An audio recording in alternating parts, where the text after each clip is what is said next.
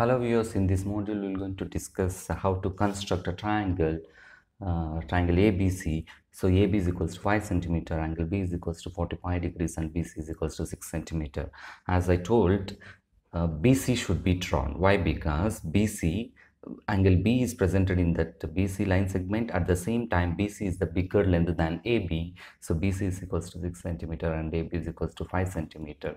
So for that, it's better to draw BC with the line segment keep your scale horizontally and make sure that it should be perfect. So bc was 5 6 centimeter. So make sure that draw line segment with 6 centimeter and bc is equals to 6 centimeter. Then so measure angle 45 degrees with the center B. So here it coincide so this line is coincide with the line BC segment line segment BC so it's but it's we need to measure from this side how much degrees is 45 degree. It will be here 10 20 30 40 45 draw one ray from B. Draw one ray from B draw one ray from B make sure that let be X-ray be X-ray and what is that angle is?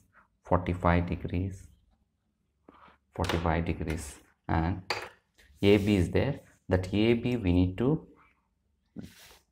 draw with length. Here make it as 0 and that is 5 centimeter. This is the length of 5 centimeter. Draw one arc B as a center with radius 5 centimeter on ray BX where it should coincide. Make sure that it should coincide coincide BX ray. And where that ray is coincide where that ray is coincide with the arc that point as A. That point as A. So join AC join AC join AC and AB and down. So what is the AC length?